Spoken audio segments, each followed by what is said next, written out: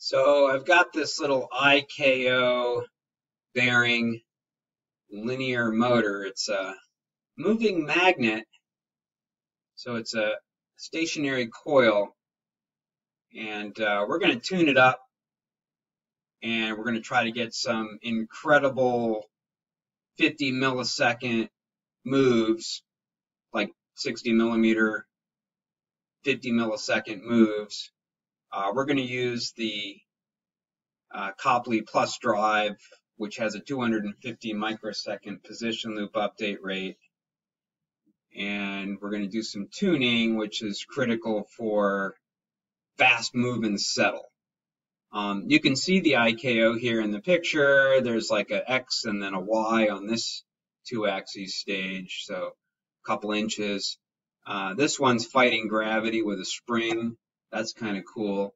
And of course, I like the little Irish leaf there for clean lubrication. Um, so you can see the IKO comes in various formats for travel, distance travel. Um, but the basic principle is the coils are embedded in the motor. So this is stationary, the bottom. And the encoder is stationary and it reads the encoder strip.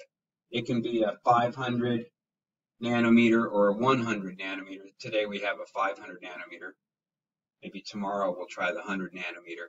But the magnets are located in the moving sled, and uh, we could measure the, a pair of magnets, and that would be the magnetic pair length.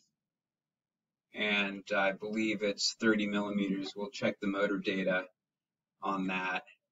Um, but as you can see, there's a really dense uh, field based on the gap, and we get pretty sinusoidal back EMF out of it, um, although there seem to be some noisy spots. So I did a few things to reduce the static noise.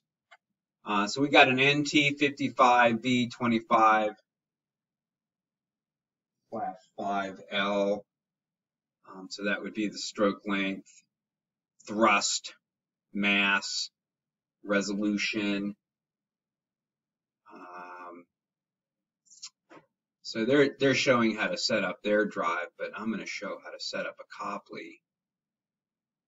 Uh, the specification for the inductance and resistance and magnetic pair length couldn't find in this sheet here.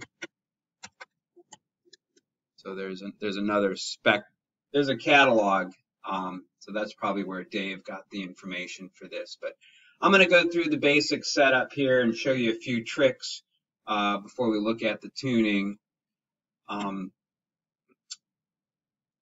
so it's a brushless linear. There are no halls, so we have to do incremental with wake and wiggle. Again, halls must be a very American thing.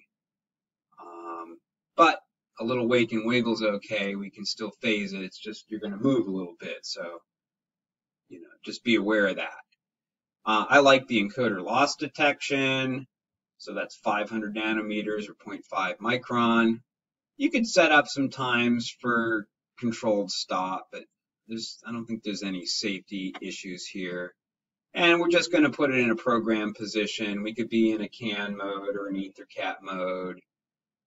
We could follow an analog commanding position or an analog commands profile velocity. So various modes of operation. Uh, multi-mode port, we can buffer it out or emulate it if it was a like an absolute encoder. It's just an incremental. And um, we'll take a look at the motor specification here. We've got a little mass used to calculate the initial tuning parameters, although we did have to crank the gains up. Peak force, continuous force. I know there's a velocity of 1,300 millimeters a second, but I'm going to double it theoretically because we got like a, it's almost 80 volt power supply here, um, 8 volts per meter per second. So the theoretical speed is wicked fast. Um, you notice the resistance is high, so when I'm at 1 ohm, I mean 1 amp with 66 ohms, I'm going to lose some voltage. So maybe more voltage is better uh, to hit uh, the limited speed probably is 1,300 based on the resistance and the back EMF, which is makes more sense with an 80 volt supply. Plus 22 millihenries, that's some significant inductance. So for the current loop tuning, I just tweaked a little bit. So double the gains till I get oscillations and cut them in half. Uh, should be about a kilohertz or more. Um, never have more bandwidth than you need. But we're trying to make a wicked fast move with a lot of velocity bandwidth, so I'm just going to leave it at 1.8 kilohertz. It was critically damped, and it looked really nice, so just going to leave that alone. Um, maybe it's a little more bandwidth than, than we need, but I may need it to settle quicker, to move faster, because I'm trying to push the the, velo the band velocity bandwidth out. Um, I also picked for maximum speed. I noticed a bump in my head into the back EMF because of the IR drop, trying to go fast. And I enabled the bus clamping, which got us away from center weighted and put us back to a, an older traditional um, zero to 100% modulation technique, which seemed to do a little better near zero and got rid of a little bit of noise. So it's subjective, didn't make a big difference. You know, I'm just I'm just checking the box to get away from a little bit of static noise based on some ripple on the bus, and hopefully that'll help me settle better. But really, didn't help me. Uh, this gave me a little bit more speed, so I think that's important.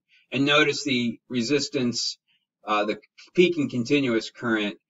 Uh, this will limit our speed too if we actually hit that kind of current. In the velocity loop, I moved that out to that's impossible, but go ahead and get it out of our way.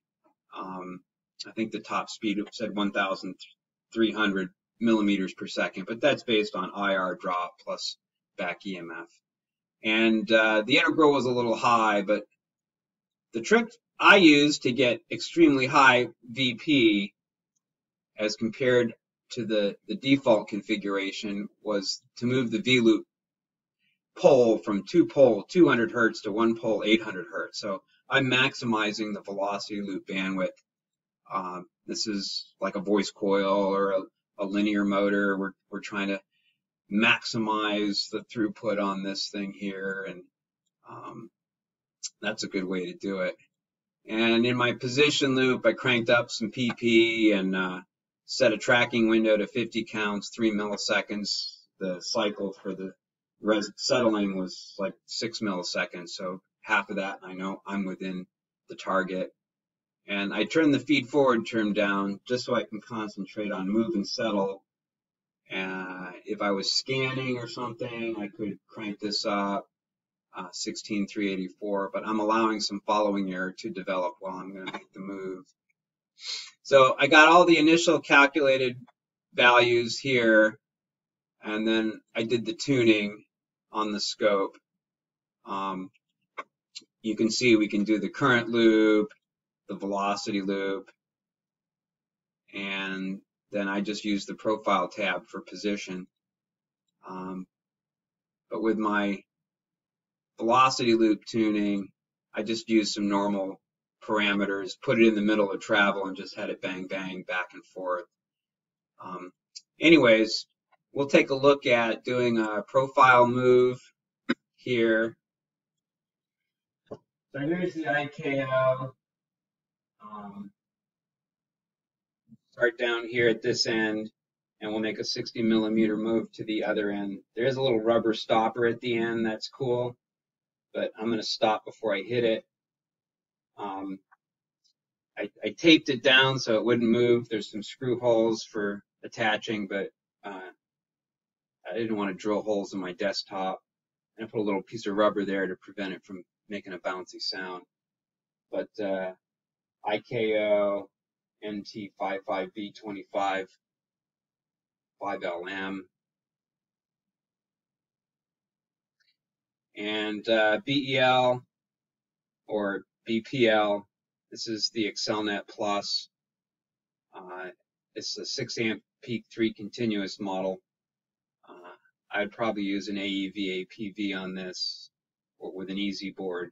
But this is good for a demo. Um, just hooked it up to an 80 volt power supply.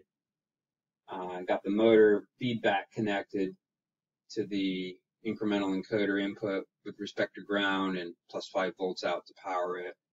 And the motor output UVW with an earth ground. So normally you would connect the case of the drive to earth when you bolt it into the frame and the case of the motor when you bolt it on the frame to get a good earth ground. I didn't notice any uh, any problems with the feedback in, in this setup, so I'll leave that alone. Um, that, that's a good picture. Oh, and I'm talking to it with the um, SER-USB-RJ11 USB to serial adapter. And uh, we'll take a look at CME version 8.0. So profile tab, uh, 60,000 times 500 micrometers. I guess that's not 60 millimeters. That's half of that. So 30 millimeter move, which is like a pair of magnets for distance. Um, yeah, 30 millimeter electrical cycle. Anyways, uh, I've got a profile velocity with following error in blue. We'll see some actual current. I've monitored the bus voltage and the terminal voltage servo, and we'll see the in motion bit stop. Um, my, for my trajectory limits, I set it to 2000 uh, with almost 80,000 millimeters per second squared. And this is a big number for jerk, 20 mega millimeters per second per second per second. Um, that just rounds the edges a little bit here. And let's take a look at the move. Okay. There's a move. And we can see the uh, profile velocity, rounded edges, hitting about 1,300. Um, this is my bus voltage, maybe it's 75 volts, and my terminal voltage servo is clipping a little bit while I'm applying current, which makes sense. I got about an amp with 66 ohms plus some back EMF. Um, the following error grows because of the clipping, but I'm just out of saturation, so actually the following error is due to the VFF term. Um, I've left it off a little bit from 16384 to allow some following error to develop so I could settle much nicer, much nicerly. Um, and you can see the entire move time is actually reduced down to probably about 44 uh, milliseconds. Uh, left click, drag, drop a rectangle, and uh, we can see how the settling time settles in. I can look at the, the samples there. So this is at 125 microseconds in between samples. So two of those dots is a position loop update rate. And so it settles uh, rather nicely, plus or minus a few counts here. Uh, I've got my window set at about 50 counts, so uh, I've settled and then I fired the output. Um, so that's uh, pretty good, pretty good uh, move times. And uh, thanks for looking at the IKO uh, uh, linear linear motor.